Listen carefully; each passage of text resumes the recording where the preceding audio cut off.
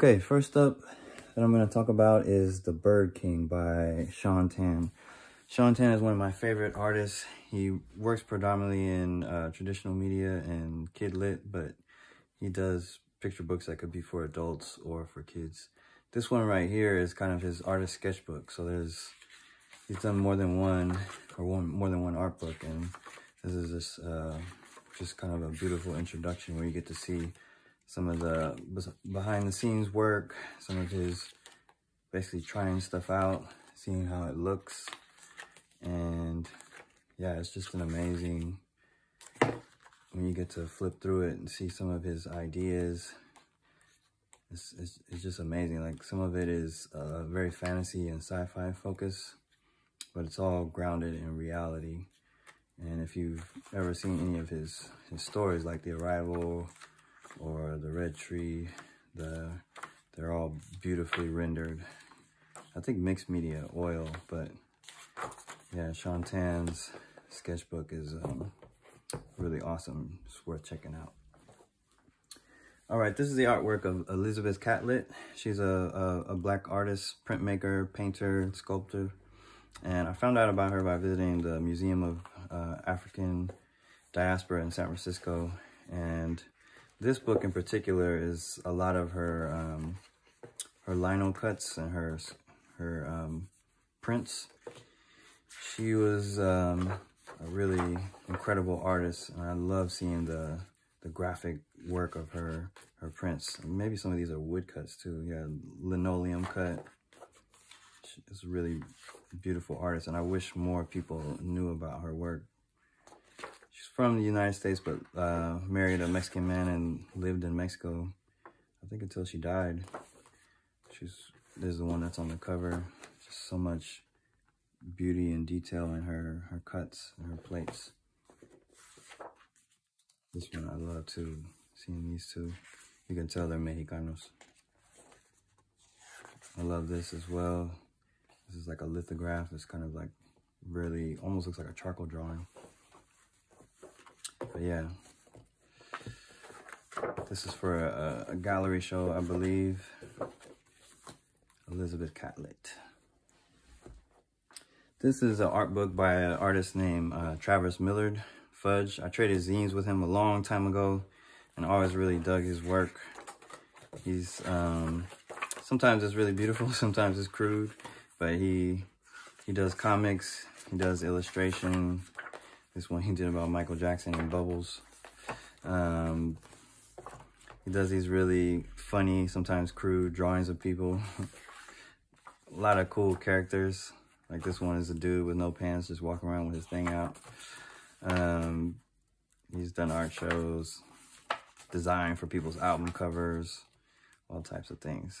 But something about his like his characters. Uh, it's like black and white ink the simplicity of it, I always really, really dug about his work.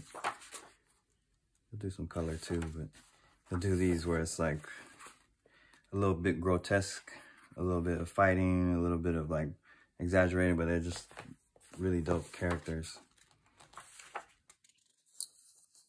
He does all these funny little ink drawings of different things, like broken wrists, skateboard, Moko's skating burns. Yeah, he's. I think he did a whole lot of zine work and then ended up compiling it into one book. But I love seeing his illustration. When I got a zine, it came in an envelope like that from him.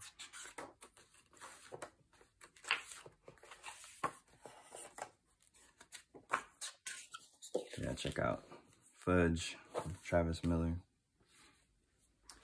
All right, so here's a book uh, showcasing some of the, the fashion of uh, the, our elders in the Chinese community. Um, this woman, Andria Lo, photographed my wedding. She's a really dope photographer. And I love this book. It's called Chinatown Pretty. And in it, they basically go, I think it's mostly in California, but maybe some in New York as well. They go to different areas and just photograph the sights and sounds of the people and definitely you get to see their fashion. I mean, like, a lot of people um, in the fashion industry, you know, probably bite some of this or steal a little bit of that, but like, it's really dope just to see how they layer themselves, especially in uh, colder cities like San Francisco. Gotta have lots of layers. But it's just cool to see them rocking their, their colors and their outfits. And some of it maybe from a, a, a store that they bought, and sometimes it's, you know, secondhand or passed down. And sometimes they actually make it themselves. I mean, it's, yeah, it's really beautiful to see all the different styles. Some of them, you know, they, they're not trying to style. They just are stylish. Um, and then occasionally you'll see someone who, like this woman right here in San Francisco, she actually makes her clothes. So you get to see some of the stuff that she makes. Like this one, this is like a big rice bag and she made this out of that. So it's, it's dope just to read the, the commentary and the interviews and a little bit about their life. Here's some pictures from Oakland, Chinatown, Oakland, where I'm from. I love seeing the styles. It's one of them things where like you grow up and you like, oh man, the, the old ladies or the old dudes really got style. Someone should do something about that. And this is before like Humans in New York. I was thinking that and it's just really dope to see this as a book. See, here we go, LA. So much color. Yeah, like this. Like this is really cool seeing there. They're yellow.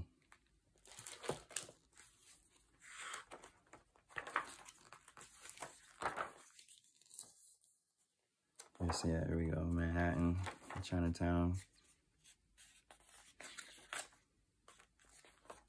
Yeah, it's really dope for fashion sense and fashion love. Chinatown pretty.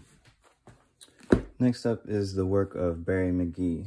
So I grew up as a graffiti kid and I knew him as Twist, which so many people did. And this is uh, an art book. I'm not sure if this was for a, a gallery show or what, but it has a lot of old photographs in it. Him and his, his partner, homies. A beautiful, small book. You see some of this bombing in San Francisco. And then you got you start to see some of the artwork that he did for his show in Berkeley, California. I'm not sure if there were work from other shows, but this is definitely from Berkeley. And he's got this an interesting mixture of graph, patterns, ephemera, and he had these sculptures of people who were bombing at the show. These are from some of his earlier Yerba Buena uh, gallery show works. As a kid, I remember going to go see this in San Francisco, or as a young man, I should say. These are definitely from San Francisco. Some beautiful gallery pieces. And he, when he does his gallery shows, you get to see he has um, a jacket that was this one right here that's fitted for spray paint. So there's like tons of pockets in it for bombing. And yeah, there's like a little bit of uh, street work in here, gallery work in here. This is a really inspiring book if you do public art or graph or even if you do design and you're looking for something different. Um, this is a really beautiful book. This is some train graffiti right here more stuff from his gallery shows, which, like I said, they have um, paintings and so much more encompassed in them. But um, yeah, check this out. This is um, Barry McGee, or Twist as we called him. It's a really dope book. Okay, so here is the art of Kiki's Delivery Service. So Kiki's Delivery Service is an animated film by Studio Ghibli, directed by Hayao Miyazaki the great Hayao Miyazaki, and he just about every film has an art of book, just like Home. It's really dope to see um, the studio where they work, their photographs they take. I mean, this one in particular, Kiki, is about a young witch who, she's in like a, a fictional European city, and she's basically going out on her own. And in the art of book, you get some background about the story, the concept, the studio, the different artists who worked on the film. These are like, I think these are Hayao's work. He works in watercolor and pencil a lot. He does these beautiful concepts and these are like actual still shots from the film concept. The paintings that they do uh, for the background are just incredible. I want to say that they use gouache, but they're always so beautiful, especially next to the cell 2D animated characters. Yeah, I love looking at the the paintings that they do. It's really inspiring. The I mean, it's it's cartoonish. It's you know, it's imaginative, but it's grounded in such reality. And that goes for the characters as well. Yeah, there's a cat, Jiji, that talks. Yeah, Kiki, she's a witch. Um, she's going off on her own to basically learn how to be a young woman. I love it. It's, it's, a beautiful story. I love most of the Ghibli films, but this is one of my favorites that I can actually watch with my daughter because it's it's not too scary.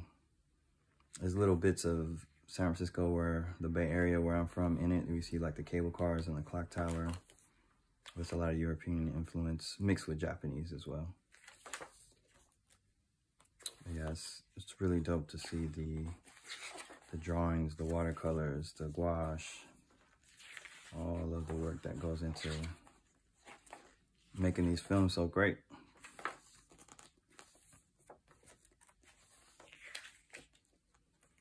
And like I said, most of his, his many, many, many Ghibli films, most of them will have an art book. So you can kind of see the how they did it.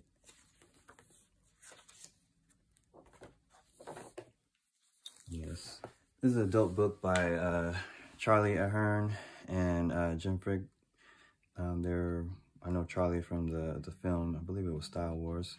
Um, this is a dope book because it has some of the earliest photographs of some of the pioneers and progenitors of hip hop, and it it goes from borough to borough and year to year. You'll have commentary from different figures within the the culture, paired with photographs, and it's just I, I read it many many years ago, but being that it's the 50th anniversary, this is one of those books worth checking out because it's just it's got so much like look at that. It's like old black books old black book artwork um, old flyers. You get to see flyers from the old jams. Really beautiful seeing all the flyers and the pictures and these people have, who made you know something out of nothing I'll talk about Herc and Bambaataa, Flash. So many people.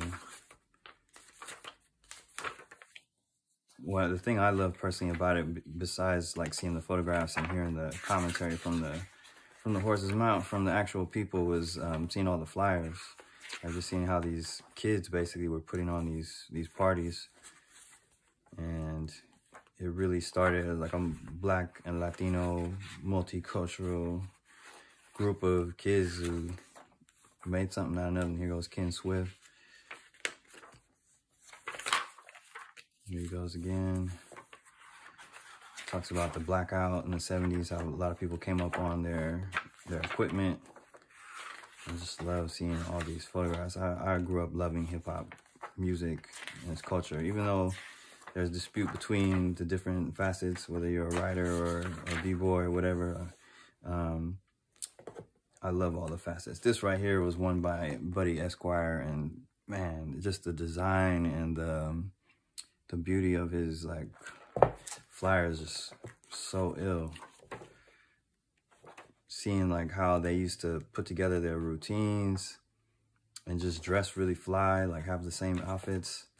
I love seeing this stuff. And there's many, many hip hop books, you know, kind of documenting stuff from back then. Jamel Shabazz is one who's done a lot of great books. Well, I'll talk about in the future, but um, yeah, check out this one. There's some scenes from films as well. Yeah, yes, yes, y'all. All right, this one is from the the film Home. This is based on a book by Adam Rex called uh, I think it was Smekday, and this is Tip and this is O, and these are really funny characters really cool film. I've watched it with my daughter a million times, and it's just really dope to see a young black woman with curly hair um, as the main protagonist. And as with most art of animation books, what you get when you look inside these are um, elements of character design, production design, background design, sometimes uh, character design and storyboard, and these color scripts. It's just really awesome to see. And in this one in particular, it's really cool because they have like different shapes for it.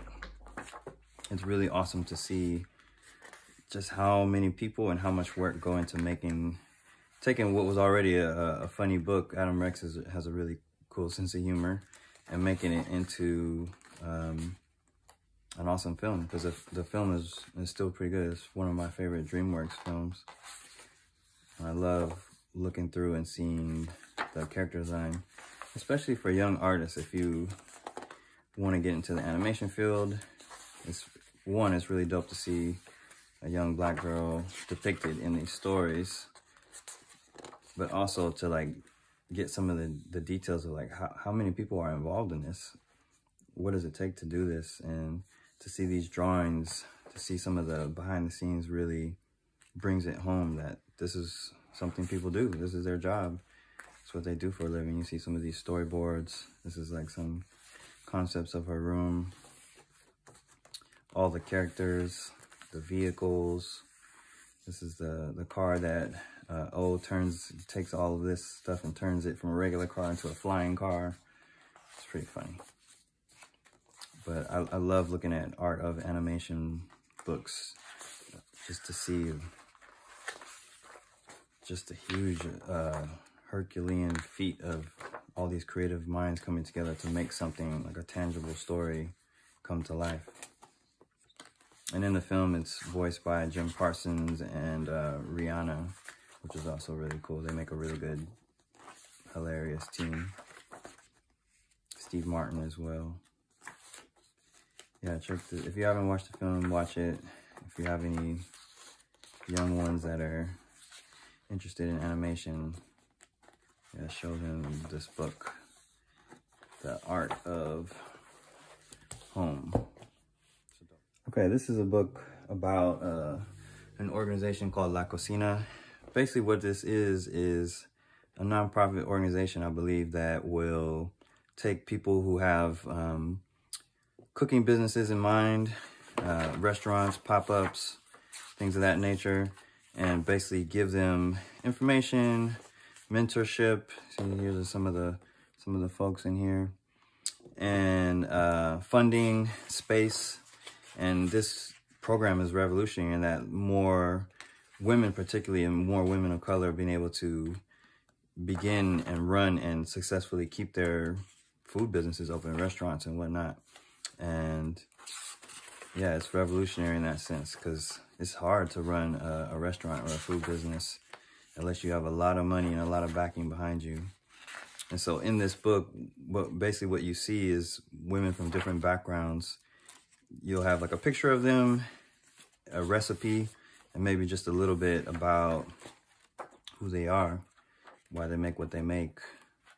And I just love it because it's it's i mean this organization is in san francisco and in like the mission district in san francisco has so many different types of people. You have like a, a richness of culture through the food. So i think it's really dope for young chefs if they want to check this out photographers designers it's a really really beautifully done book love the pictures love their mission statement and I love just hearing their stories. Like some of them are from the Bay Area, some of them are from Central California, they're from all over.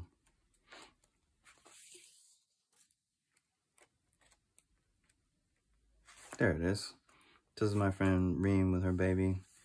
And she started a restaurant in the San Francisco first as a pop-up, then uh, a brick and mortar place in Oakland that I helped paint a mural on. And then now she's in San Francisco. So check this out, La Cocina. All right, this is a new one. I haven't actually read this one yet, but um, it's called Movie Storyboards. And I've been just studying storyboards a little bit, taking some classes, and through taking classes, come to really appreciate and understand just how hard it is to make a narrative film or a commercial or a TV show or an animated show good. Not even make it great, just to make it good. And in this book, it was written by uh, Fionnuala Halligan. You get to see kind of the evolution of storyboards from back in the 30s with like Hitchcock and other people to now. And there are lots of different types of storyboards. There's what you call beat boards, where they take several key moments, like this is a Hitchcock storyboards right here.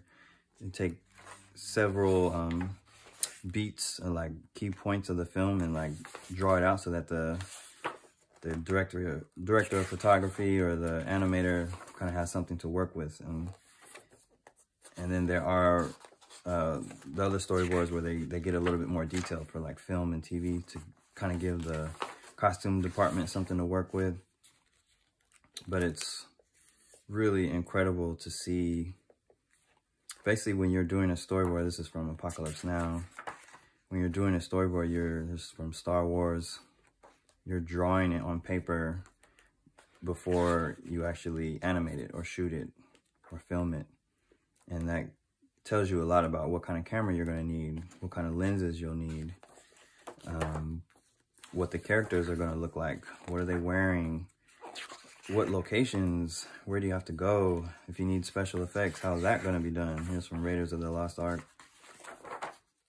And a good storyboard artist is almost like a director before a director because they will basically, through uh, sequential images, they will help you get a feeling like it'll make you scared or it will make you happy or it will make you anxious or it will make you curious like through the this incredible skill. This is from um, i think aardman stop motion, motion animated film.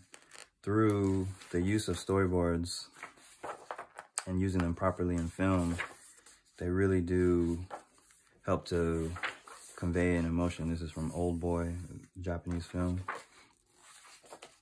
So for any of those young artists out there who want to get into animation or film, story artists or storyboard artists um, are really pivotal and important in all visual storytelling, if it's TV or commercials or film.